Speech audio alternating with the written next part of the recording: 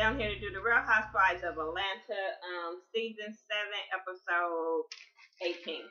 Um, it was a boring episode, so that's why I didn't comb my hair. That's why I didn't put on no clothes. Y'all can get me like this today. Um, it was dumb. It started off with Nene and Dr. Jeff and her leaving. Who gave a fuck? I I was just like Kandi. Why are you chasing her out of here? It's a lot of other girls in the room that need your help. Why are you chasing this hoe out of here? It, it don't matter. It don't matter.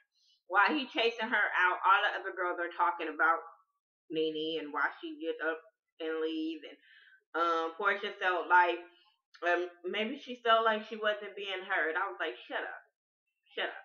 Like I told a lot of people last time, if you look at the last episode, he told Nene, "We're gonna start with you first.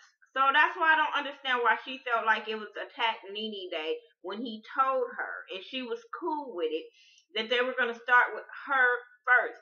Like, damn, bitch, can we get with you and then get down the line? Like, you didn't even let the damn session really get started before you took it the wrong way.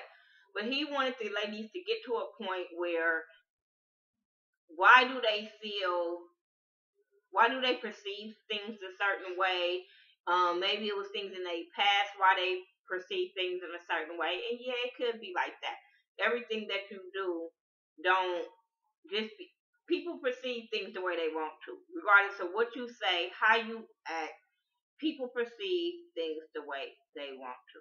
Um, maybe and like they they start talking about being bullied and being rejected and all this kind of shit. And yeah, maybe so. You know, a person's being bullied all the time, all the time, always gonna be on defense. Um, a person always has to fight all their life. They're always gonna be on defense. So, you know, all of them had a little story to tell about being bullied and Porsha was saying how she was bullied in her marriage, she was bullied in school. I'm like, girl, shut up. Um that's how I really feel with Porsha sometimes. I just really just want to say shut up the whole every time she talks. But okay. Um Claudia was still on that being bullied because she was biracial. Shut up. Kenya still being rejected by her mom. Okay. Um, can't say shut up on that one because that one is a hard thing. Being bullied is a hard thing too, but like if you know you was bullied all your life or whatever in school, and then you get in it in this relationship, don't you see the signs of being bullied? Like, and then you study, you study, stay there because this motherfucker got money. I don't care what nobody say. Porsha stayed with Kordell because he had money. And then when the show gave her her own thing, it was okay to leave Kordell. I, that's why I don't feel no kind of fucking way for her. Um, they talked about Porsha and Kenya's past and all about the Miss USA, Miss America comment and the fight the reunion and the Puerto Rico trip, and it was dumb. It was dumb. Claudia felt when he asked Claudia, Claudia felt like, well, I had something to say. Maybe I shouldn't have it in front of the ladies, but I wanted some questions answered. I was like, girl, shut up being shady. Um, Kenya did semi, you know, apologize to Porsha, but Dr. Jeff called her out on that shit and was like, um, you because of what she was apologizing for, because she was like, I apologize if you feel attacked, and he was like, well, you did attack her regardless if it was with your words or with your fists, you did attack her. Like, just own up to your shit. If you're gonna apologize, own up to your shit just as well. But I guess they all move past that. They all want to kiss and make up. Who cares? He brings up Phaedra, and Kandi feels, and I feel the same way. If we have an issue, and you the only person know about that issue, we don't have an issue. You have an issue until we both know about it, and then like she felt like I talked to Phaedra, and now Dr. Jeff know about the problems. Phaedra know about the problem. I mean, Porsha know about it. Kenya know about it. So he has, she has a problem with everybody knowing about it, but her. And she feel like she wants to know what Phaedra is saying about her that's making everybody feel a certain way. Okay, whatever, who cares? Then he was asking, how can we reach out to Nene? Um, Kenya brought up uh doing a video message and I was here once again with Kandi. That's like kissing her ass. Like why are we doing this and it's like kissing her ass? But they end up hugging it out, doing a video for her, sending it to her, whatever. I felt her. Like I wouldn't have said that bitch shit. She left Now we are bonded. Now we kick this hoe out. Like if she don't want to be a part of the group, that's gonna be on her. That's how I would have felt. Like, but y'all gonna keep letting this bitch be queen bitch. I'm just saying. So Nene is at home. She rehearsing about her Cinderella play, and then Greg, her little peasant, comes in. And they start talking about the play and how long she got, and oh, it's a lot because the queen has a lot uh, more lines than anybody else. I'm like, bitch, now you shading everybody on your cast on Cinderella. Whatever. So they talked about the Dr. Jeff session and how she felt attacked and um, she did get the video message from Porsha, but she don't, she ain't with that shit. She done. She can't do it no more. I'm like, bitch, we'll move on. We, are, I'm telling you, it's a lot of people that watch Real Housewives of Atlanta will not miss Nene and her bullshit of antics. Like, no, I don't think a lot of people will. It is some Nene fans out there, but for the most part, Nene, you ran your course. Seven seasons, girl. You know they say seven bad, you know, bad luck numbers. So, you know, just saying, you and ran your fucking course. Um. Then she got mad because she said Porsha and Kandi didn't stick up for her, and I'm like, what were they supposed to say? Like, okay. Kandi and Todd, they go shooting pool with Cynthia and Peter or whatever. And Cynthia brings up Dr. Jeff. Why? I don't know. Did y'all not have nothing else to talk about? That you always think it's okay to bring up shit? Like, if you talked about it with your husband, cool. Why? I didn't understand of this one, but okay, we're gonna talk about it. They talked about the thing. Um, they talked about Nene getting into it with Dr. Jeff. They talked about Phaedra didn't come and Phaedra having problems with uh homegirl, uh Kandi. And Kandi, like I said, Kandi felt like she the only one didn't get the memo that Phaedra was mad. Who cares? Phaedra and TD Jake's daughter Sarah, they uh go to Phaedra's house and she's being phony like forever. Like all that lemonade and don't fall in the pool. I was just so over that. That that's fake conversation to me. Um. Then they start talking about the girl Sarah's past, and I'm like, okay, she auditioning to be on the Real Housewives because I'm still like, why are we putting this girl storyline on blast? I didn't get it. Then you gonna be evasive with the story. I'm like, we don't. Why are we talking about her past? We don't know who she is. What who she married to, well, who she well, who she was married to. None of that. Okay, she was 14 when she had a baby. She had messed up marriage, and Phaedra wants to know how did she go through it. And Phaedra started bashing Apollo once again and talking about his everyday madness. Um, they were always fighting. Um, and she never had no, she hasn't been having no friends by her side but Nene. I'm like, girl, boo. This whole conversation, I was just like, huh? Mm. Kenya's producing a show, uh, the Life to Own show. I didn't care. Cynthia, uh, Leon, Brandon, some other people, they were all at the table read. I didn't care. And even Leon shaded the shit out of Cynthia, was like, what is she gonna do? Play my ex wife? Like, when they did the table read, all that shit that they were doing, I was like, okay, maybe it's just me because none of this shit is funny to me. I don't know. Maybe I have to see the show as a whole. But none of the actors pump me up to want to see it. I'm just saying. But hey, kudos to Kenya. You doing something. I can't be mad at you on that. Um, Claudia and Dr. Jeff, they have this little uh Skype session. I thought Claudia looked really cute on this Skype session. Her hair was cute, everything that was cute. Um, but they talked about she wanted one-on-one counseling with him, and ain't nothing wrong with needing some help. Um, but then they start talking about the counseling session with all the ladies and how can they work with that. And I'm sitting there like, don't it's supposed to be a one-on-one counseling. Like, can we get into this?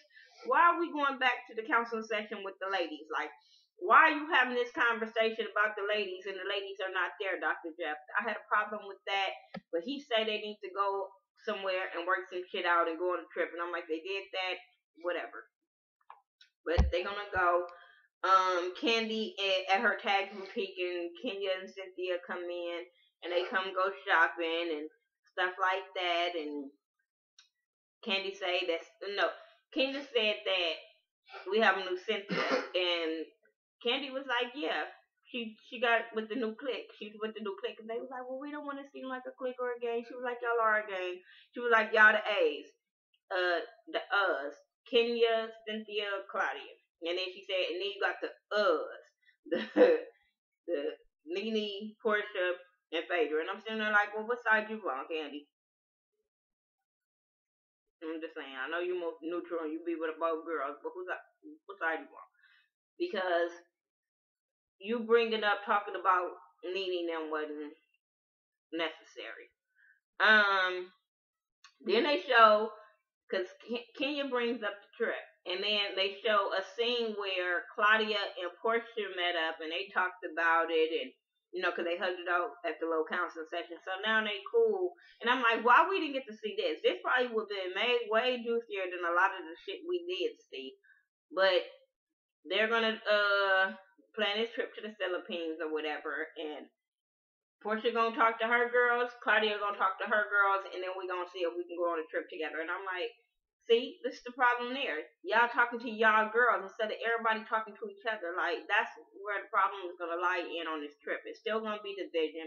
And I'm like this: if we going on a trip, please don't invite people that have problem with other people. That way, I think the only people that should have been on that trip is the people that was in the counseling session because them the only people that worked out their issues.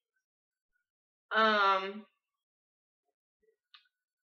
I didn't care about nothing else. They did ask did she talk to is Nene and Phaedra gonna go? She don't know. Um, have Kandi talk to Phaedra? No. She ain't tried to reach out to her. She ain't tried to reach out to her. Okay. Phaedra talking to her an attorney or whatever, and um, they're talking about divorcing Apollo and what is her um options or whatever. And the lady was like, you know, y'all can leave with what y'all came with before the marriage and during the marriage. You know, y'all leave financially, y'all gonna be okay. But the big issue is the kids, and you need to let the kids spend as much time as possible with Apollo. All of a sudden, Phaedra, her whole attitude changed. Her whole attitude changed when this lady recommended that these kids see their father. And then she was like, well, if I have time and I did this, I'm like, this is always the weekends for them kids to see your baby. I'm quite sure all these weekends or all these times you've been going on a trip with faith, um, Kandi, and all these trips that you're about to take to the Philippines, your kids can go see their damn daddy. Shut that shit down. Uh-uh. I'm, I'm sorry. I'm a product of a child. I mean, my parent being in jail, and I think I would have been more mad at my mom if she wouldn't have let us go spend time with my dad and get to know my dad and stuff like that and try to keep us from. I would have been more pissed off. Maybe it's just me, but I'm just saying my opinion of a product child of per, of a person that was incarcerated. I mean, me and my dad had the best relationship in jail and out of jail. We just really did. I was daddy's girl in and out. So I think that would have been. I think it's beneficial for your child to know you, regardless of where you at. You ain't six feet under. A child should know their parent. Let that child say, I don't want to mess with him no more. I don't want to mess with her no more. I just really think it's up to the child and not the parent because of your anger issues and how you feel about him. Um.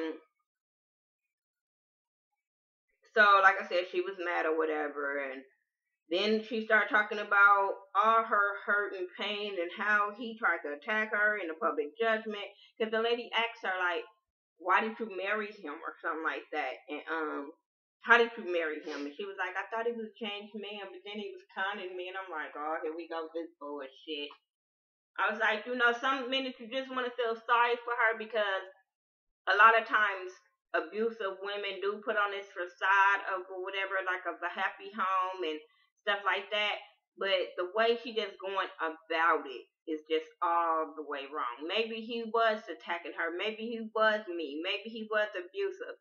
It's just the way she is bringing this story out is just fucked up all the way around. Don't care what nobody say. It's just fucked up. Um, that's my review for the Real Housewives of Atlanta season seven, episode eighteen. Like I said, it really wasn't a good episode. Next week we're gonna see a lot more. We're gonna see them in the Philippines. We're gonna see uh Porsha take a thought picture. I don't know who said it, but they did say it when they were taking pictures. Um, we did see that Kenya and Phaedra is gonna finally sit down and have a talk that has been long overdue, and I guess they're gonna make up. But we know somebody gonna be throwing some kind of comment in that little confession room about each other. And that's my thing about before I end this. That's my thing about Nene. You want these this shit to work out with these ladies. You want things to go, and that's for all the, for all the girls. If y'all want y'all relationship to work and want to be cool and want to be friends, y'all gonna have to stop with these goddamn confessionals, or y'all gonna have to stop with these damn Twitter. Cause that's what keep the beef going. It's not the shit that happens on the show. It's the shit that happens after the show. The confessionals and the tweets. In the interviews y'all do. Y'all shade each other and then smile in each other's face. I don't get it. I don't get it. But anyway, like I said, that was my review. Follow me on Facebook, Twitter, Instagram, Google Plus, Xbox Live, whatever. I do everything by the Ghetto View, T H A, not T H E. And I'm telling y'all to follow me, subscribe, check out Ashley Miller, D Miss, Cemented, Tam G, um, Forest Rocks. Much love from KY. We all do Real Housewives of Atlanta reviews. So check us all out, and we'll talk to you later. Peace out.